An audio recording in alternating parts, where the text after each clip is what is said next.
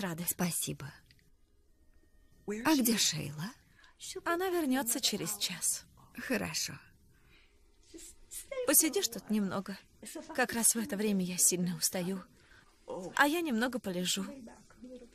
Что ж, позволь мне. Ложись, я тебе помогу. Вот так. Я сниму твои туфли. Что скажешь? Один. Теперь сюда. Это так мило. Положим ноги на диван. Тебе помочь с подушками? Нет, я в порядке. Нет, я хочу сделать так, чтобы тебе было удобно.